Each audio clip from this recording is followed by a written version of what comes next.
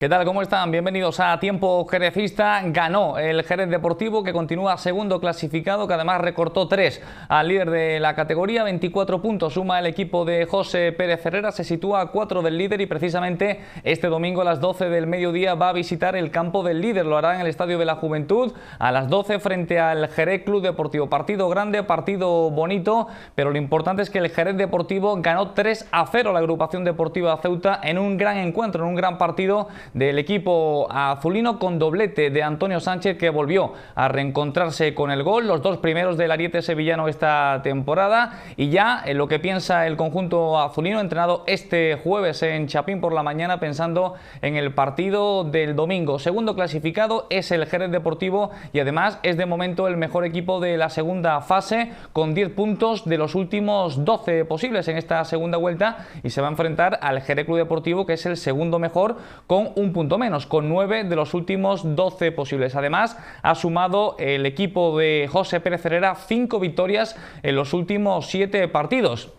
Los datos están ahí, desde luego que las cifras invitan al optimismo, pero esto es muy largo, quedan todavía cinco partidos de esta primera fase, queda toda la segunda fase con rivales ya directos por la pelea por el ascenso y hay que ir partido a partido. En cuanto a la cantera, volvió a competir este pasado fin de semana, seis victorias y una sola derrota. El juvenil que de momento todavía no compite, por eso el cierre perimetral de, de las provincias. Y el Jerez Toyota Nimoto que lastimosamente perdió ese derby en el pabellón centro histórico de Cádiz, un partido que parecía que se iba a llevar el equipo de Jesús Azurmendi, pero al final remontó, ¿no? Iba 1-3 ganando y al final el Cádiz Virgile le dio la vuelta al marcador. El partido acabó 5 a 3 para los gaditanos. Este sábado a las 6 y media, nueva final en el pabellón Ruiz Mateos frente al futuro carmonense. Hay también una iniciativa de la Unión de Peñas Jerecista en ese desplazamiento virtual con entradas. Ahora hablaremos de todo esto, pero esta es la actualidad del Jerez Deportivo, del universo Jerez Deportivo.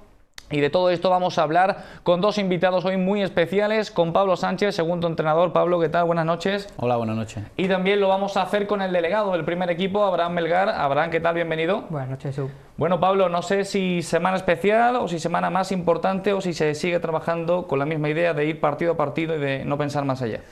Bueno, seguimos trabajando partido a partido, mmm, sabedores que es una semana especial para la ciudad y, y bueno, para la clasificación, ¿no? Jugamos uh -huh. contra el líder y, y tenemos que, que, ser nosotros mismos, como venimos haciendo últimamente, una buena dinámica, centrados día a día en el trabajo para llegar el domingo pues, con las mejores condiciones y hacer nuestro juego, ¿no? Y, usar nuestras armas para llevarnos los tres puntos, que sería muy importante para nosotros. ¿no? no sé, Pablo, si tenéis la sensación de que este partido llega en el mejor momento de la temporada, donde el equipo está quizás en el punto más maduro.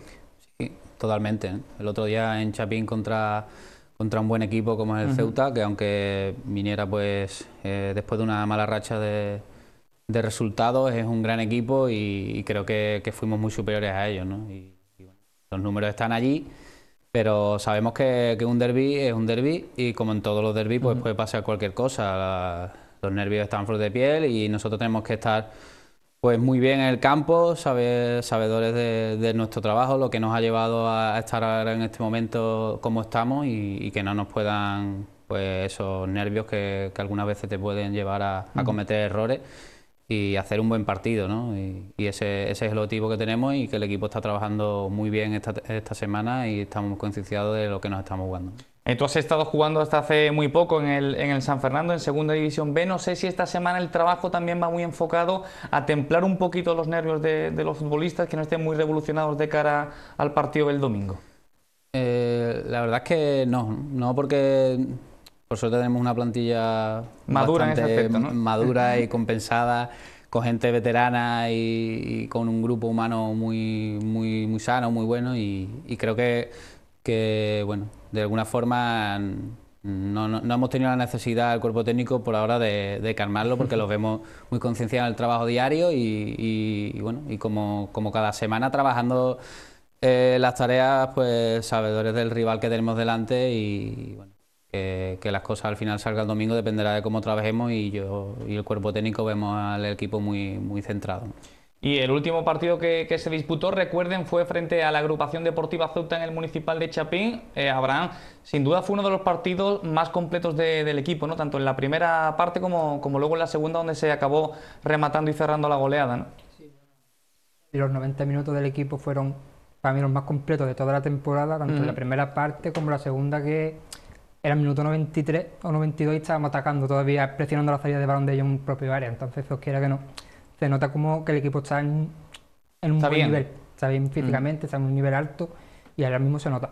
Bueno, y tú este año debutando también como, como delegado ¿no? del primer equipo, ¿no? con la ausencia de, Juan Miblanes, ¿cómo, ¿cómo lo estás llevando? ¿Cómo estás viviendo esa experiencia de vivir los partidos ahí a, a, pie de banquillo? Hombre, no es lo mismo, está acostumbrado a verlo en la grada, porque está implicado al fin y al cabo en el proyecto y la verdad que de momento Bien, ¿no? Vamos muy bien. ¿Se ve el fútbol muy, muy diferente ahí abajo, no? Totalmente diferente, no tiene nada que ver.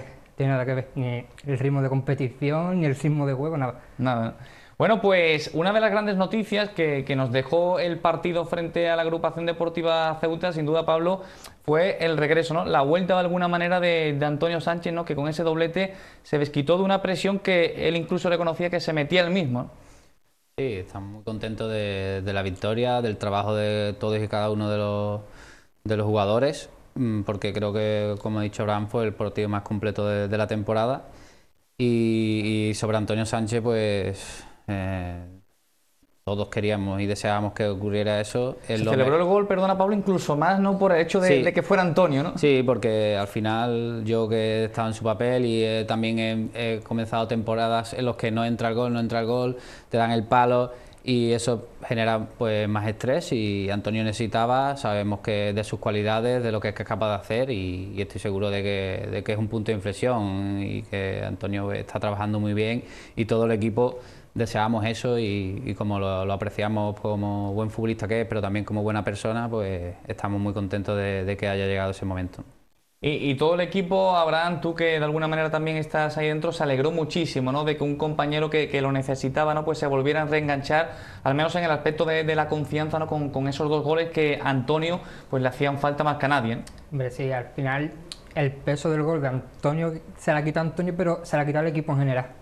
Porque el equipo muchas veces sufre cuando el futbolista no, mete, el delantero no mete el gol, sufre, la plantilla sufre. Que era que no, Solo hay que ver la celebración con Mayo, cómo, se, se abrazaron los dos al final del partido, que era que no.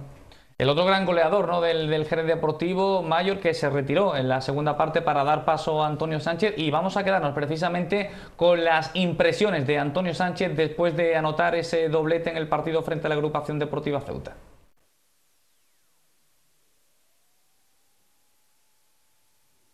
Sí, la verdad que he tenido esa fortuna ¿no? del primer balón que he tocado meterla, ¿no? Y, pero ya te digo, eh, si Eden no hubiera rematado, pues yo no hubiera metido porque el balón se iba, ¿no? Y Eden la toca, yo estoy ahí, ¿no? Me cae y la verdad que he tenido la suerte de meter gol y, ya te digo, ¿no? Que, lo importante es el equipo, no es, no es Antonio Sánchez solo, que, también, ¿no? Antonio Sánchez a lo mejor no ha estado como el, todo el mundo esperaba, ¿no? Esta temporada, pero bueno cada vez me voy encontrando mejor y la verdad que hoy me voy contento por eso, ¿no? Por ayudar al equipo con lo que sé, ¿no? Meter goles. Lo hablábamos con el míster mucho, ¿no? que estuviera tranquilo, que no pasaba nada, que no me obsesionara con el gol, pero bueno, al fin y al cabo los delanteros vimos del gol, ¿no? y la verdad que te hace un poco de run run en la cabeza, pero bueno, tampoco me obsesionaba tanto, pero lo de hoy la verdad que como un subidón de, energía, ¿no? Y, y sobre todo un subidón de confianza en mí mismo porque lo necesitaba y sobre todo de la manera que ha sido. Pues las impresiones de Antonio Sánchez, un Antonio Sánchez que se reencontraba con el gol, lo hacía en la jornada decimotercera, además lo, lo hacía por partida doble. Eh, Pablo, yo no sé si con la vuelta de, Antonio Sánchez, con un goleador como Mayor, eh, Antonio Bello que también salió en la segunda parte y, dio la asistencia del segundo gol, no sé si va a ser un quebradero de cabeza hacer el 11 de cara al, partido del domingo. Bendito quebradero, ¿no?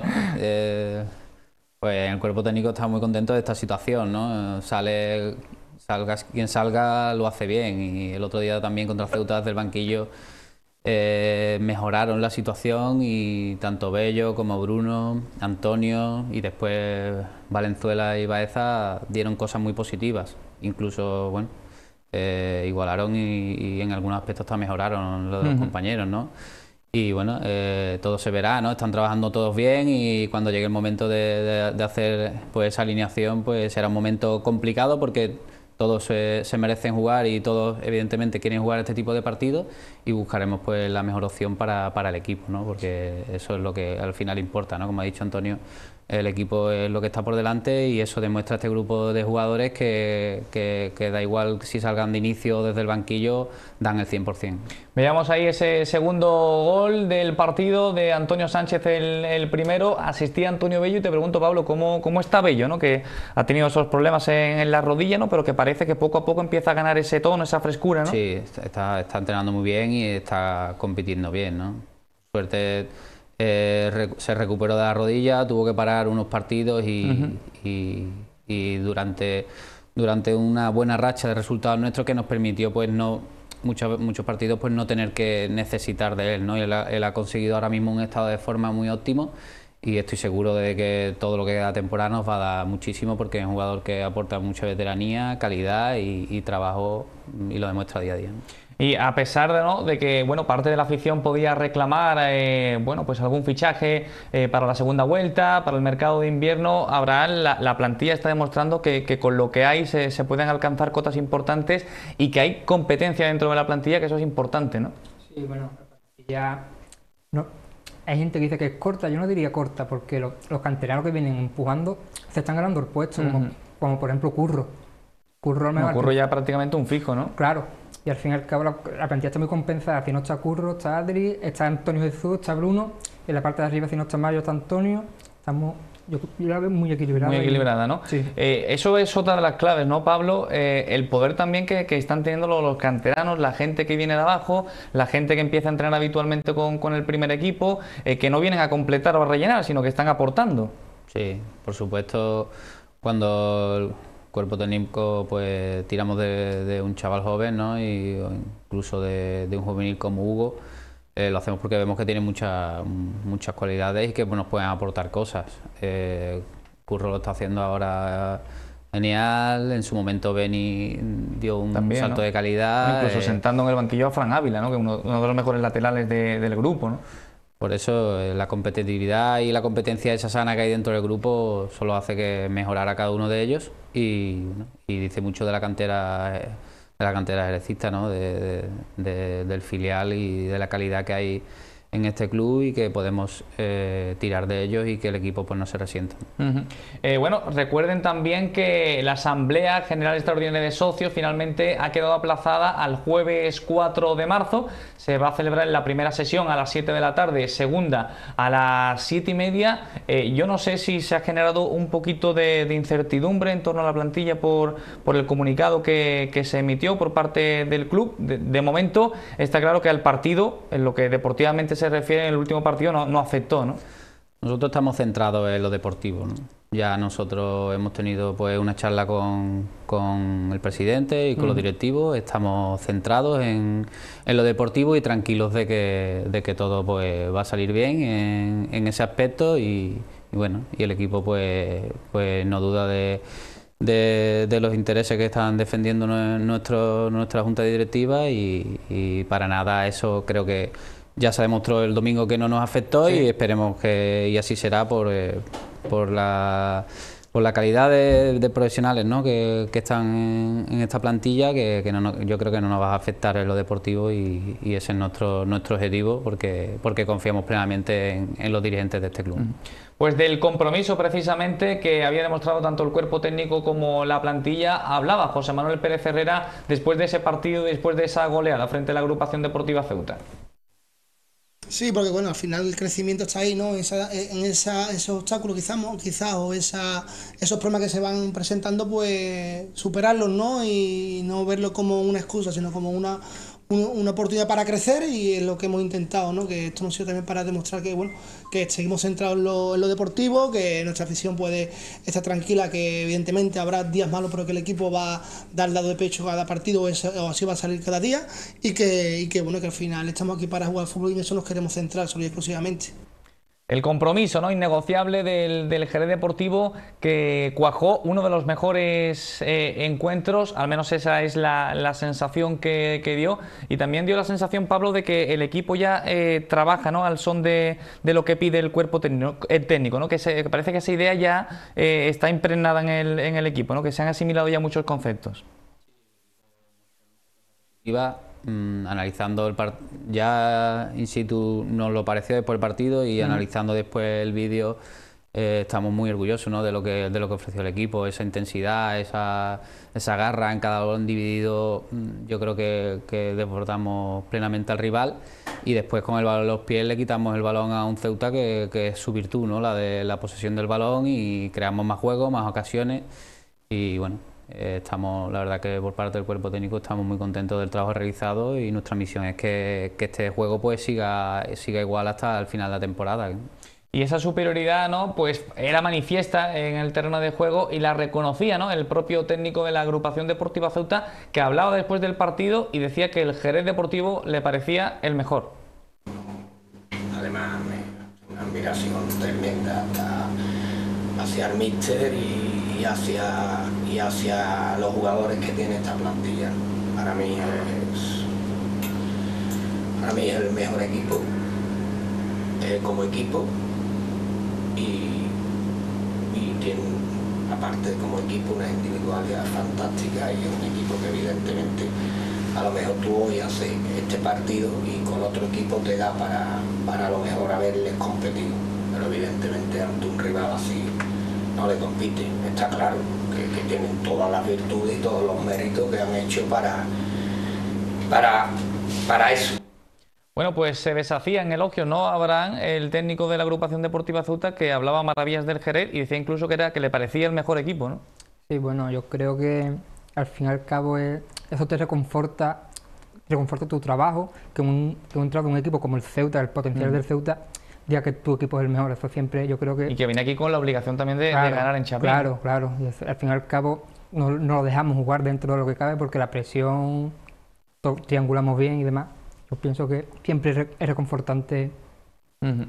Pues ese fue el último partido que, disputó el, Jerez Deportivo y ya lo que viene es el Jerez Club Deportivo, el líder de momento del subgrupo A del grupo 10 de tercera división, aunque eso sí, llega una semana algo convulsa porque echaron al entrenador el domingo después de la derrota en el San Rafael, la única derrota por cierto del Jerez Club Deportivo, han contratado al, al Boquerón Esteban, no sé Pablo, si tenéis la sensación de que esto puede afectar negativamente al Jerez Club Deportivo de cara al partido del domingo no?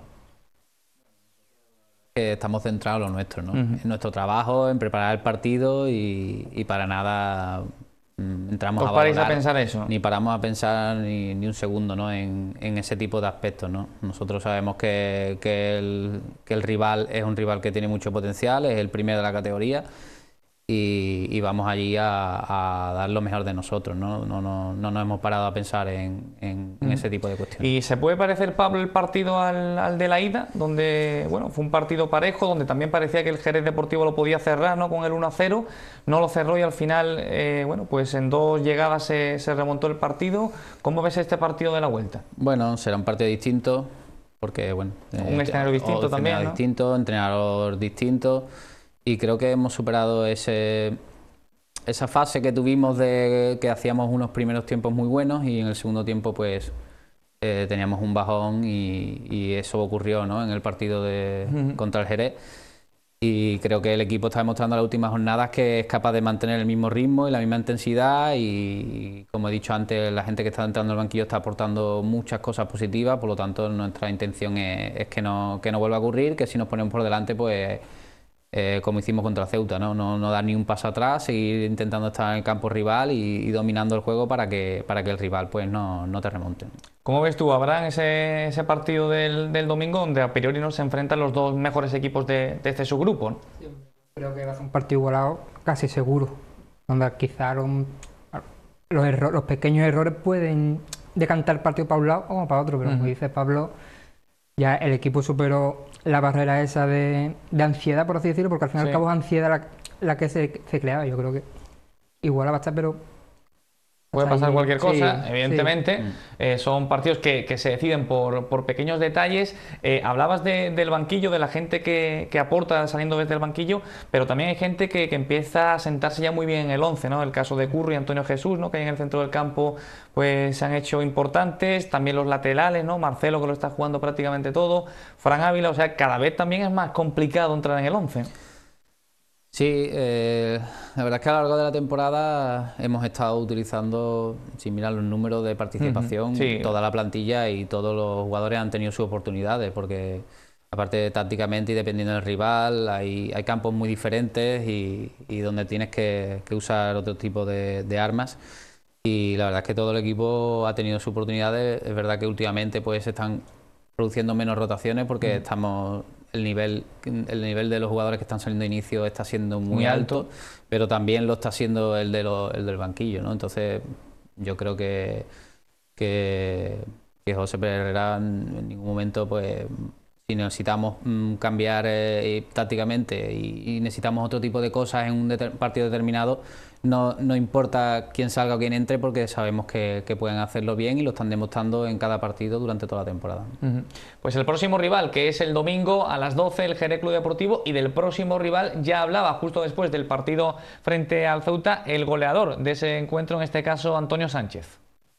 Eh, nosotros si sabemos, lo- mm, vamos, si seguimos así, no trabajando de esta manera y sobre todo el día a día que se nota a los compañeros, eh, yo creo que somos tenemos mucho a nuestro favor para llevarnos los tres puntos y recortar esos puntos a, al otro Jerez. Y la verdad que, que sí, ¿no? esperando ya que llegue el domingo con muchas ganas ya, el equipo ya está metido en, el próximo domingo.